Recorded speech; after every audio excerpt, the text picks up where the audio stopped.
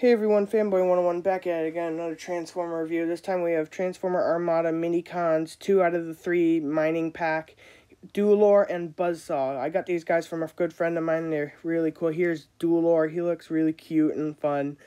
Uh, since he's a mini-con, he's pretty simplistic. That head sculpt is really nice. Uh, here's Buzzsaw, it looks really cool. Not my favorite mini-con, but he's alright. Uh, here's how his sculpt looks like a hard hat. Looks very fun. Uh, let's get down to vehicle mode. Dualor is a really cool attack tank, like anti-aircraft. Looks really cool. Buzzsaw is some sort of like construction vehicle. I don't really know what it is, but it looks nice. Please make sure you like, share, and subscribe on the video. This is Fanboy101 signing off.